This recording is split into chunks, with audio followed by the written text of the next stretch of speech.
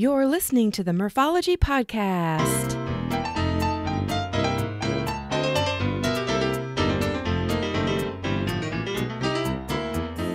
Thanks for tuning into the Murphology Podcast, aka Murph here to share interviews about biking experiences from cyclists who have pedaled to places all over.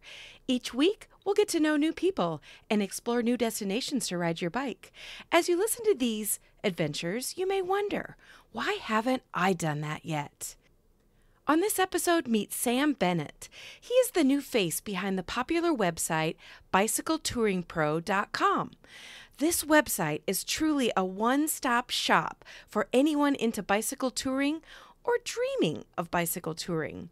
It's a great how to resource with blog articles, YouTube videos, books, you name it, for those who might be interested in learning about what it takes to travel by bicycle.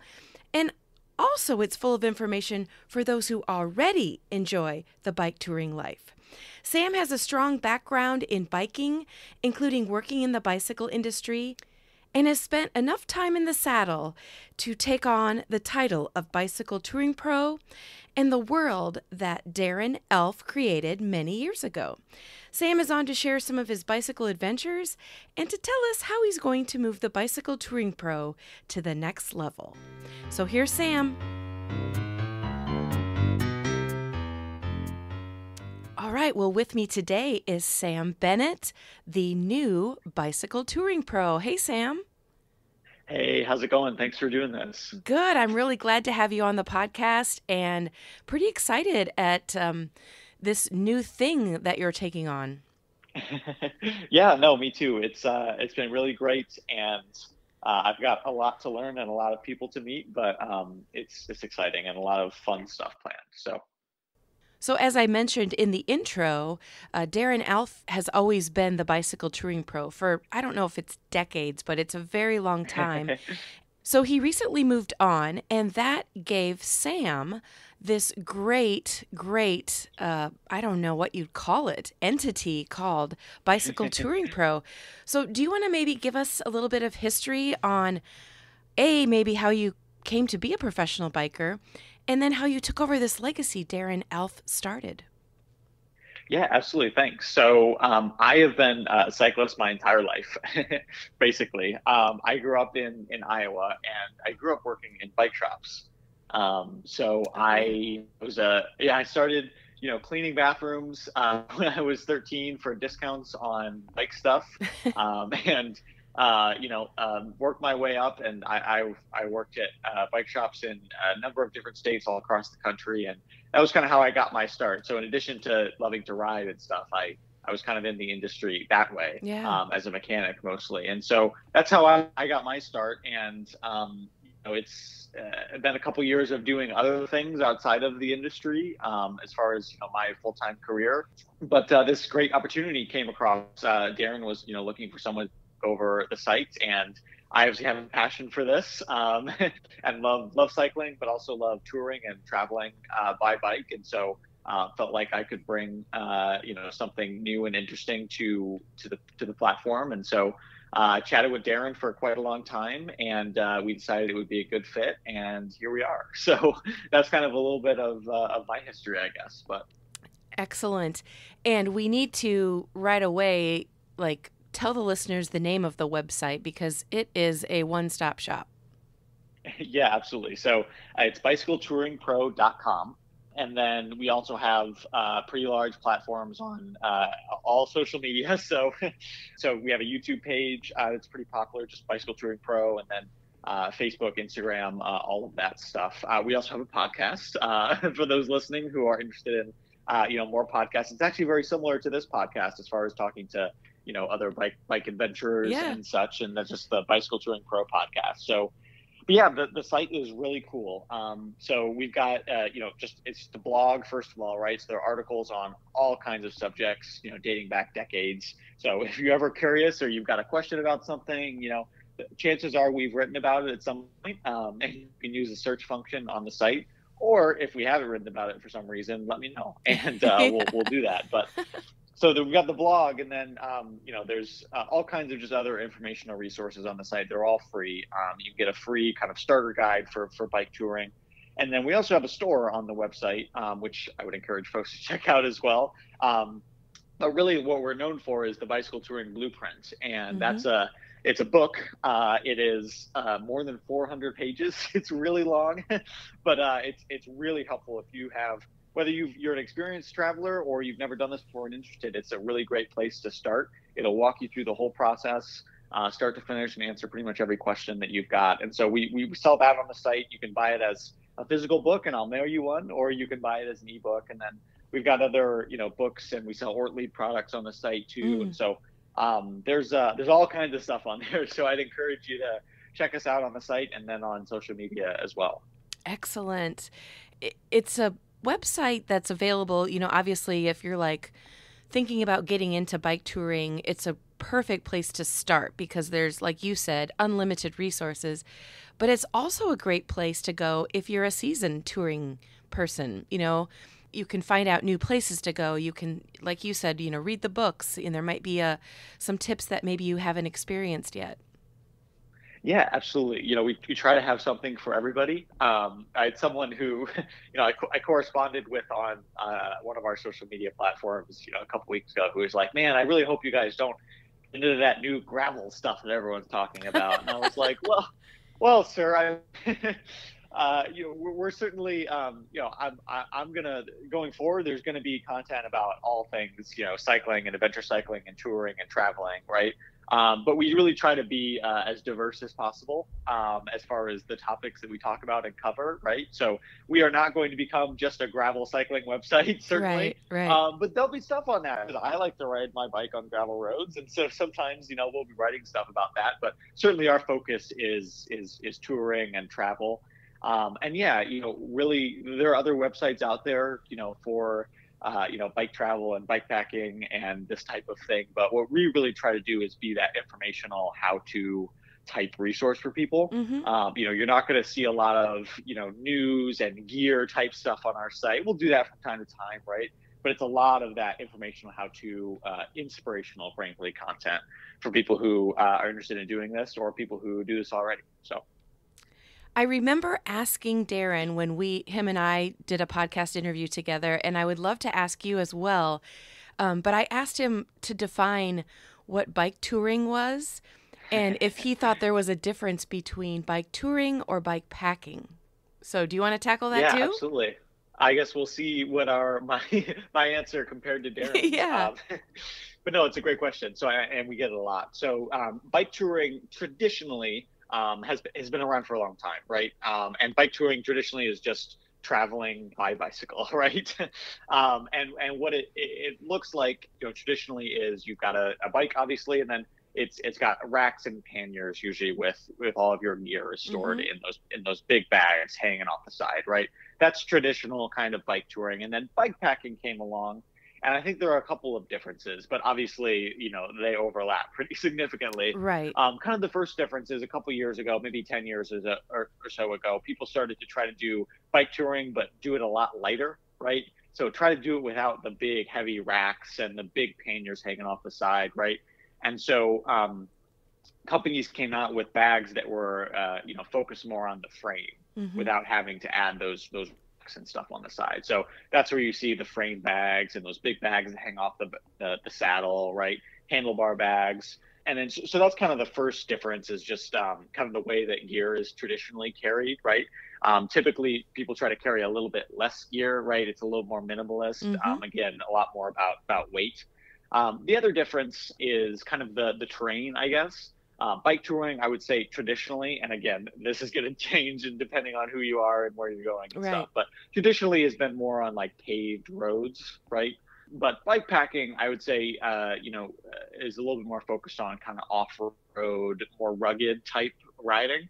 Um, so you might have a bike that's got more tire clearance, you know, uh, a little bit knobbier tires, just a little bit more uh, diverse and rugged in the, the landscapes um, that, that you're riding again traditionally. So I'd say those are the, the main differences. Um, but again, they're they're both riding and traveling by bicycle, and that's all that really matters. Is just about kind of the approach um, that you take as far as you know the the bike and the gear that you're carrying. Ah, well said. Very well said. and I, um, I do both extensively, and Yeah, it's kind of like um, it's the exact mindset you just described. Like when I am bike packing, you know, usually I'm going on terrain that's a little bit more rough. I don't want Yep. as much weight on my bike, so you know, instead of bringing three jackets, I'll just bring one, and then Mhm. you know, try and talk myself into being okay that I might wear the same jacket more than once. Where when I am uh, touring, it's I still try and minimi- minimize, but I Sure. know that I, you know, if you have four panniers on your bike and one of them isn't really like full to the brim, my brain, whether it's right or wrong, will like, well, maybe I will put a few more items in my Yep. bike. Like, you know, you want a few luxuries, right? Uh huh. Yep. And what you know, what I tell people is like it, uh, and, and, and frankly, and, and maybe some of the the companies that you know are out there may not appreciate this, but um, it, it doesn't have to be black and white, right? Right, right. you don't have to have a bike packing bike and a touring bike, and you don't have to have all the bags, right? Uh, it, it's whatever works best for you, right? If you've got one bike and you're trying to figure out the best setup for you, right? Maybe it is uh, a hybrid of the two, where you've got a frame bag, but you've also got a front or rear rack, right? Yeah. It, it doesn't have to be black or white. Um, it's it's just kind of whatever makes sense to you. There are obviously benefits to both, right? Uh, it's great to have less weight on your bike that you've got to carry up hills and mountains and stuff. Right. Um, but it's also nice to have some of those luxuries sometimes. And so it's going to be, you know, up to each individual person on kind of what you need. And that really just comes from experience and, you know, getting advice from other people um, on kind of what has worked best for them. So, Yes, yes. And uh, like when you mention, you know, luxuries, uh, when I am bike touring, like one of the luxuries I always take with me are a set of Uno cards. Um, because Yeah. when we're, you know, if there's a group of us pedaling, you know, we'll get to our campground and set up camp. And then, you know, once it's dark, it's like you just sit around the fire or do something. And so uh, usually somebody has some sort of lantern, and just to be able to play Uno, regardless of where we are, is kind of fun. And, you know, it's not, it doesn't take up a lot of room, but if I'm bike packing, where to put a set of Uno cards can become pretty Yeah. dramatic. So it doesn't always get to go on the trips with me. But do you have any luxury items that you are always taking with you? Yeah, absolutely. So um, it's, a, it's a great question. I, I don't end up having too many luxuries. Um, you know, I'm a young guy and I can sleep well pretty much anywhere. And, Yeah. You know, don't get don't get as many of the aches and pains that I know a lot of people do riding. Um, I would say I, I, I- I like to bring like a nice lantern, um, you know, to kind of hang in the tent at, at night. Yep. Um, I also love to read when I'm on the road, and so um, I always try to bring. Um, I've got like an iPad that I can read on, or like a, an e-reader. is really nice to have. Mhm. Um, it, it's obviously a lot lighter and easier than carrying like an actual physical book, which you're just never going to have the room for, right? Right, and so right. that's why I love you know reading on a on an iPad or on a, a Kindle. Um, so those I would say are my my luxuries. hmm I wonder if they make Uno cards electronically, where we could all just play on our I'm sure phones. there's some kind of Yeah. electronic Uno game, um, but I've never looked into that. Yeah, so I might have you'll to- have to figure that out. I'll have to research that, and if if it does exist, I'll put it in the show notes in case anyone go. else wants to try electronic Uno. But anyway, okay, back to you. okay, knowing that you live in Iowa, that you're a fellow Iowan. Um, I don't know if you're a Hawkeye or a Cyclone, but I'll say go Hawks. Uh, yeah, fair enough. I, I won't. I won't take a side in that. okay, okay, good, good, good. Um, but knowing that you are in Iowa, I'm sure that you dabble in gravel. But do you cycle year round? yeah, pretty much. You know, obviously it, it changes a little bit in the winter. Right? Yes, I, I certainly don't get as many miles in the winter, but yeah, I, I try to get out uh, when possible in the winter, and um, I'm I'm looking forward to doing uh, some some winter riding content for the site and the YouTube page uh, this winter. Um, getting out there a little bit. Um, so yeah, I, I, try to uh, as possible, but you know how the winters are here. It's uh, it's it's it's tough sometimes. So. Yes, definitely. Okay, so outside of Iowa, where have you pedaled within the United States? Yeah, I've been uh, quite a few places around the United States. I haven't been to every state. I'd love to go to Alaska. I've never been to Alaska. Oh, yes, me too. Um, but I, I, I need to get there. Uh, I don't know exactly how many states, but I've been to quite a few. most of them, I would say. Um, and I've ridden the bike in most of them. I would say like favorites for me. Um, I mean, Iowa is obviously beautiful. Yes, um, yes. I know it's not on anyone's uh, list, but the sunsets here are incredible. I, riding on an Iowa gravel road and the sun's going down, it's just beautiful. So Mhm. um, I know that's not on anyone's bucket list probably, but uh, I would highly recommend it. as far as kind of other like I would say under the radar places to ride um, in the United States, um, Oregon is absolutely beautiful, Mm. especially like eastern Oregon. Um, you get into the mountains and the forests; it's just incredible. But all of Oregon is beautiful. Um, and I would say um, no, no one ever thinks about it, but South Dakota um, can be Oh. really beautiful, especially over by the Black Hills. Uh-huh. Um, there's some great riding in there. Um, so uh, yeah, I just say you know, um, and then I, I guess I should add one last one. Uh, North Carolina and the Blue Ridge Mountains Mm. um, are just absolutely beautiful. It is truly the it lives up to the name. You know the the colors in, in the mountains, especially you know when the sun is shining a certain way, is just unbeatable. Um, and the riding there is really really great. So I, I just encourage people to maybe get off the beaten path a little bit. Mhm. You know, um, there are obviously tons of great places to ride in in the United States, and everybody kind of goes to like Colorado uh, when they want to go on a biking trip. And there are so many so many great places um, around the country that maybe aren't as popular. And I just encourage people to try to find those off the beaten path places a little bit too. And the three places that you mentioned all have pretty major elevations. So you you pick some challenging places to call your favorites. Yeah, I like I like hills certainly, um, but that's that's a personal thing. But um, yeah, I, I, I, I do enjoy you know, some elevation. And what a lot of people don't realize too is that you know Iowa's pretty flat, but if you get onto like Iowa gravel, um, as you know, um, Yes. you know because they're gravel uh, gravel roads, they don't have to comply with the normal road regulations as far as uh, you know steep steepness of hills and things. So you can get some pretty some pretty significant, you know, tough tough hills, even in states that are considered more flat. Oh, so, for sure, yes. And as your title as um, bicycle touring pro, you have to just, or maybe I'll say it and you elaborate on it, but just how epic it is to ride anywhere in the United States. Because I, as I, as I've toured through different states here and there, it's just amazing the different terrain and like you said the beauty and you've got you know elevation and there's just so much to see and how different it is via bicycle versus car. A quick interruption to tell you this week's podcast is sponsored by Lizard Lips Lip Balm. These great lip balms contain natural ingredients, come in a variety of flavors, and you can choose certified organic or balms with sun protection. Check it out at lizardlips.net. Now back to the show. yeah, absolutely. It's you know, it's such a big and diverse country, um, and I know a lot of people who live here know that. But um, there's there's just there's so much to see, and when you are driving or, or flying, especially, you just miss so much of of the beauty and the diversity, right? Mhm. and there's just a, as as I'm sure you know, and most people listening know, there's just a satisfaction that you can get from you know uh, traveling under your own power, right? Um, and just being out in uh, in the elements, you know, whatever they may be. Um, and so I, yeah, I mean, I, I, I know a lot of the people listening to this probably are avid cyclists, but I just Mhm, encourage right. people to get out there as much as possible um, because um, it really is uh, incredible, an incredible way to see a country and a place and get to know uh, the people too. Yes, and back to your comment about South Dakota, I have the Mickelson Trail on my to-do list or bike it list for 2023. so I'm really looking forward to, you know, exploring a little bit in South Dakota. Yeah, absolutely. I've never done that trail. I'll have to look it up. But Yeah. um, South Dakota is is beautiful. Obviously, probably would not recommend going in the winter. Um, right.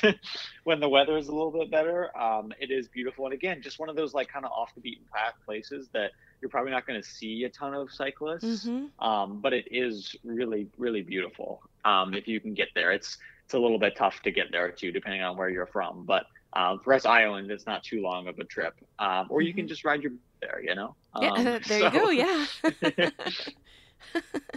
um, how about biking outside of the U.S.? Have you done any of that? Yeah, absolutely. So, um, and that's that's one of the most rewarding things in my opinion.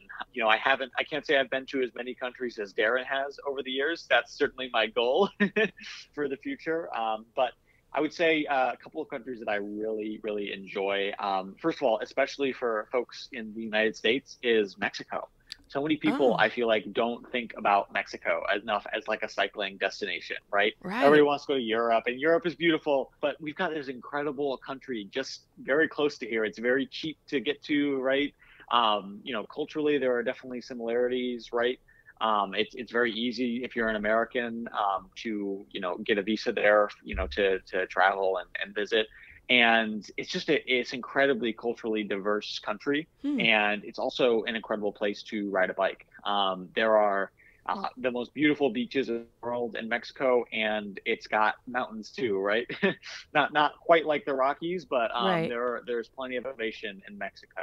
It's got beautiful cities and beautiful culture. Mexico City is one of the world's best cities.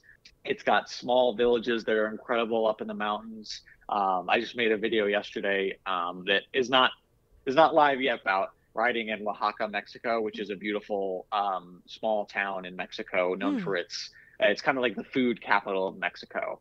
Um, and I was riding just outside of Oaxaca, and I got bit by a dog. Oh no. Um, and so I've got a YouTube video coming out about that. Everything is okay. I don't have rabies.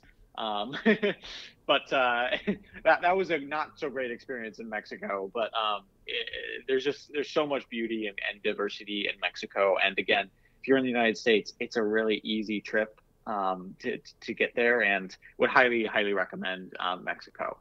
Um, the other place that I've really enjoyed is is Spain, and that's also relatively easy to get to from the United States. Flights are generally relatively relatively cheap because on the the uh, westernmost part of of of Europe.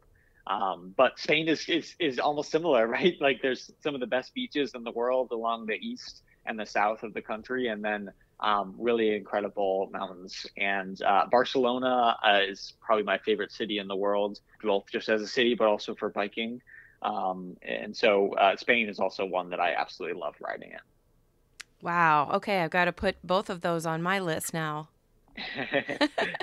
When we were doing the Southern Tier this past spring, we spent, oh gosh, weeks in Texas and we were right along the border. So I can agree with you. I mean, it's so beautiful in southern Texas.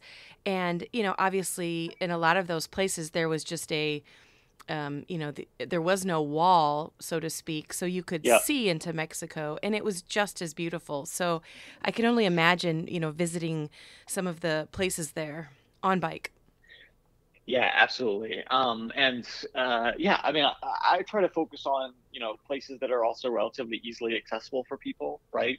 Um, I you know I, I have never been to Central Asia, for example. Um, I it's on my list to, to tour through you know that part of the world, but also um, it, it's I think it's kind of intimidating uh, being that far away, you know, for a lot of people, and Mhm. getting there is also tough. You know, if you're in you know Western Europe, the United States, or Canada, the UK, where a lot of our audience is from. But you know, I, so I try to focus on places that are relatively easily accessible for people. Mhm. Well, right, and and yeah, I mean Mexico is just just one of those. Um, and so highly highly recommend. If you need need advice or tips, just uh, you know reach out and let me know. So, Yeah. And the nice thing with Mexico is, you know, we share a border. So you literally Yep. could bike there if you you, wanted could. to. Yeah. Uh, you absolutely could. Yep. Um, the other thing I guess I'd say about Mexico while we're on the topic, um, uh, you know, a lot of people are worried about how hot it is, um, and it is hot in certain places, but a lot of Mexico is at a really high elevation, and and so that, that really helps with the, the heat issue. Uh, Mm. Mexico City, for example,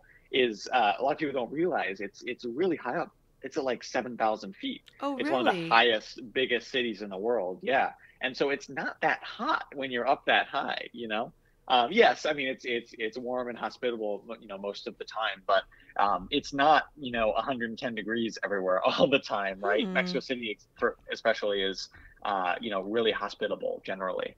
Um, and so a lot of the country is like that, right? There are definitely very hot places in Mexico, right? Um, but a lot of the country is at a higher elevation, which helps. And then the other part of the country is right along the coast, where it's pretty pretty mild as well. yeah, So yeah. um, it's not necessarily riding through, you know, a desert where it's 110 degrees everywhere. Okay. All right. Well, I'm assuming that there are photographs or an article or an article in the works on this very topic of Yes, Mexico. absolutely. yep, check out the site for sure. Okay, so back to bike touring specifically. Do you have any like let's give us your opinion. Do you see or know of like common mistakes people make when bike touring? I, I can tell you Yeah, absolutely. many mistakes I've made, but I'd love to know your opinion.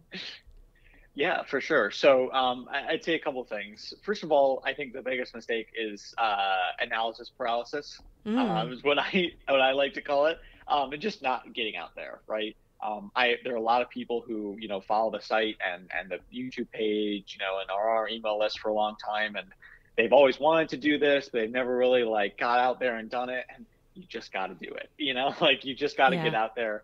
Um, a lot of people, um, like I said, they're they're they're so focused on you know making sure it's the perfect trip and they've got everything they need.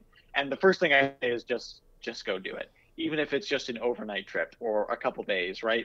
Just get out there and do it. Um, and you're going to learn these things along the way, and that's part of the fun. That's part of the you know the uh, exposure um, hmm that that's so great about this is is learning how to deal with issues as they come up, right? Because you're going to have issues. I still have problems and issues when I ride my bike. Right, I know. Darren did after doing this for 20 years, right? Um, nothing's ever going to be perfect when you're traveling this way, but that's part of the satisfaction that you get from it is working through issues as they come up, right? Having things not be perfect and having to deal with it, right? hmm Um, so that's the first thing I'd say is just like the the biggest mistake I see a lot of people make is just not getting out there and doing it as soon as possible. um, so if you're listening to this and you've never done a trip or something and you're always wanted to, just do it. You know, you can visit our site, you can read all you need on there. You know, pick up the book if you really feel like you need to. You know, you get some how-to type content before you go out, but just do it. Whether it's you know, again, just an overnighter trip from your house or book a flight somewhere and do it. Just get out there. So that's the hmm first thing I'd say. Um, and then the next thing I'd say is it, it's almost the opposite. Um, and so I, I don't want these two things to be taken, you know, in, in conjunction necessarily. Okay. But um, it's also good to be prepared, Yes. um, Okay. depending on where you're riding, right? Um, so it, you know, if you're if you're just riding, you know, in your state where you're from or around, you know, your town or your city or your state, you know, I, I'd say get out there and do it as quickly as possible. When you're going on a little bit longer trip, um, it is good to make sure that you know you're prepared with everything you need and you know you're you know how to sleep in your tent, right? um, you know how to fix your bike if you have a, a mechanical issue, right? Um, and so those types of things, it's also good, especially if you're going on a longer trip, right? Um, I think a basic bike maintenance um, is something that's really important for a lot of people. hmm Um, it's something that I'm excited to do for the site and the YouTube page coming up. So uh, make sure you're following and subscribing there, and you'll be able to see some of that some of that content. Because especially if you're in a foreign country or a place you're not as familiar with, and you have a bike issue, um, and you're in the middle of nowhere, right? Like your bike is obviously, you know, how you how you get from place to place. So Right. you need to have some basic level of knowledge to be able to fix things on your own. Um, and so that's that's something that's really really important for people. Um, and again, I'm hopefully uh, going to be doing some more content on that to help folks with that as well. Um, but yeah, I just just say for for longer trips, especially making sure you have some of that basic knowledge, making sure you've done some shorter trips first, right? uh, I there are definitely people out there who who you know they, they see the people who bike across the world or bike across Europe, right? And they just want to jump in straight to that. Um, make sure you do a couple of those shorter trips first, um, even if it's just around where you're from. Um, even if it's you know do do a trip where you go out for a week first, you know, and make sure that um, first of all you actually are enjoying this because Right. you know there Yeah. are there are, it, it can get lonely out there on the bike, right? You need to make sure that um, you know you can deal with the elements making sure that you know how to sleep in your tent. You know that's a skill that it takes developed is developed over time. And so just make sure that you know again especially for those longer trips that you've, you've done some shorter trips and you've kind of done your due diligence and built up some of those skills that are important uh, ahead of time awesome suggestions and um, you're you're so right on just simple things like you know bike maintenance like i don't know how to you know change out my blah bitty blah or what to do if my blah bitty blah breaks but i can do enough that you know if my chain snaps um, I have a little tool that I can, you know, Yeah. figure out how to make my bike, you know, just one gear and I can hobble my way to the next community. Or I know how to change a tire. You know, just I don't need to know the ins and outs of every single piece of my bike, but I know enough to get me, um, hopefully, to a place that someone else can fix it. But and you you know it's Exactly. 2022, so we have the the extra tool of like YouTube. You know, you could be like Yep. YouTube how to change a tire and you'll have 3000 options on how to learn how to change Yep. a tire.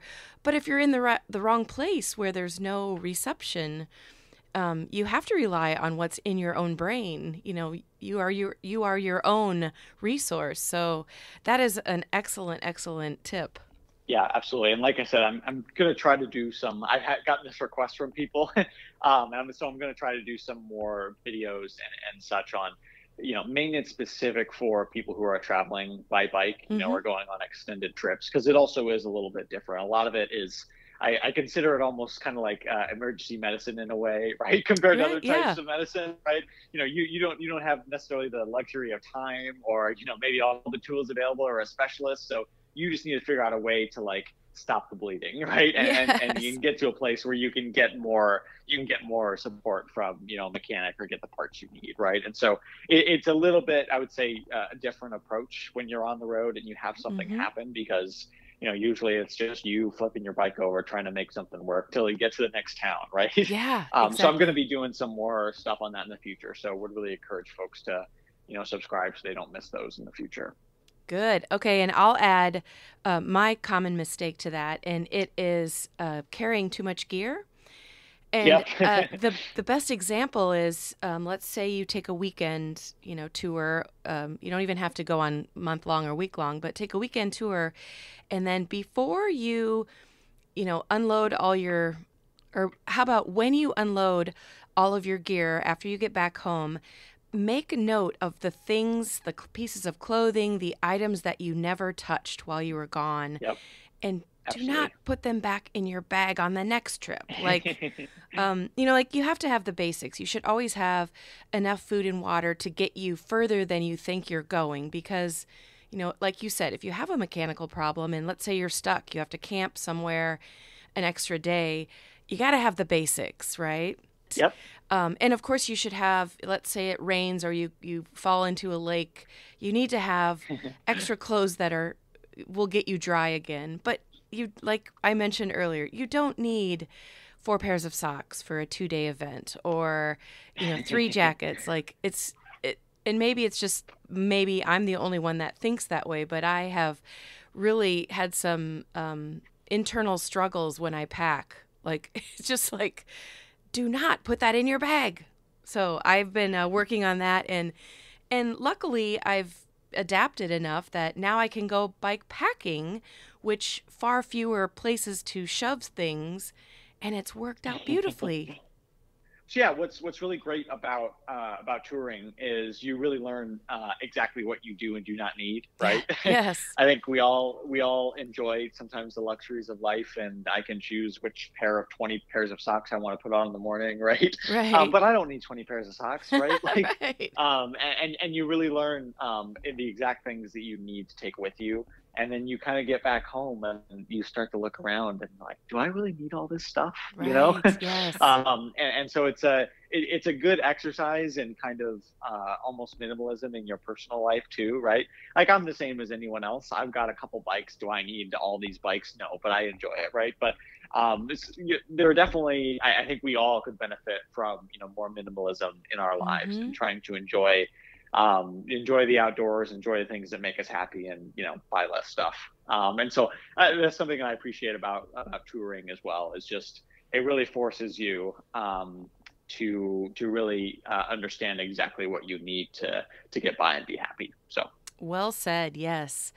So, okay, let's look forward. We've got the Bicycle Touring Pro, Sam Bennett.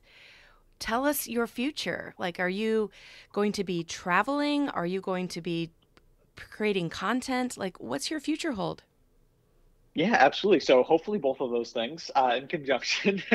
so so yeah, um, I, I, there's going to be a lot of uh, you know new cool stuff hopefully for for the site. So there'll certainly be a lot of new articles and content on the website.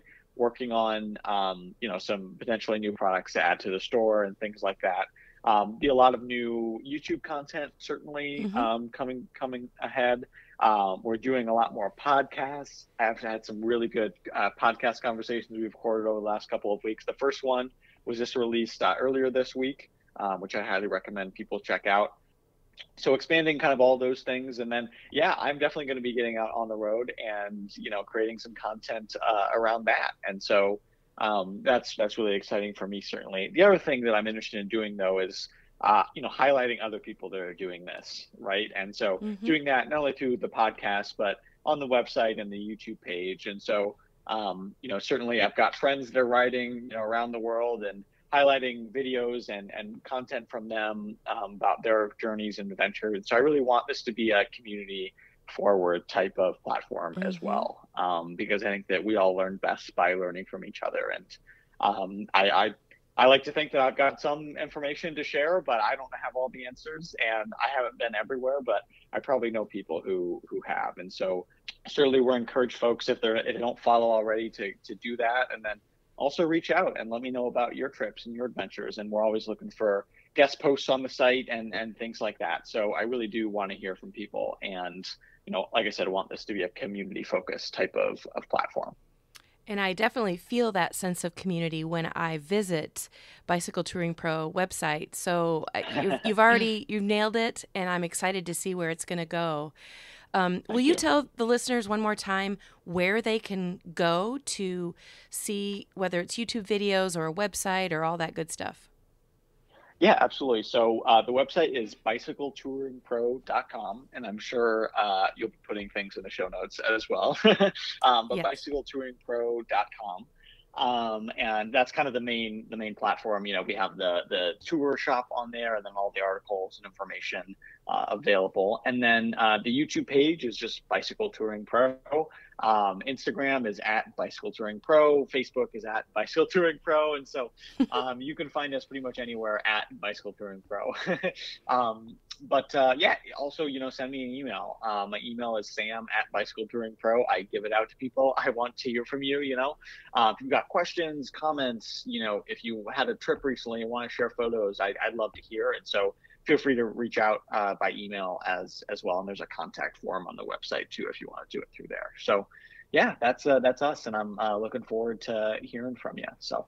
Great. Well, it is nice to know you, Sam, the bicycle touring pro. And uh, I can speak on everyone who's listening that we're really excited to, you know, have you along on our bike journeys of life. And uh, we hope to see a lot of cool stuff. Thank you. I'm really excited. So thanks for the opportunity. And uh, again, uh, really looking forward to getting to know some of your audience as well, hopefully. So great. Thanks, Sam. All right. Thanks. Well, that's it for this week. A few great deals to send your way. Use code MURPHOLOGY at hammerhead.io to get a free heart rate monitor with your Karoo 2. And a shout out to Lily Trotter's compression socks. Use code MURPHOLOGY to get 20% off your purchase of the best compression socks. Also use code Primal Murph for 20% off your Primal Wear cycling gear at primalwear.com. Of course, email me at murphologypodcast at gmail.com if you have a topic or the name of a cyclist you find interesting.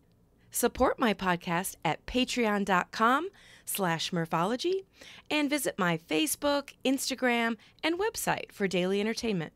I have more great episodes in the pipeline, so I hope you continue to be a Murphology podcast listener.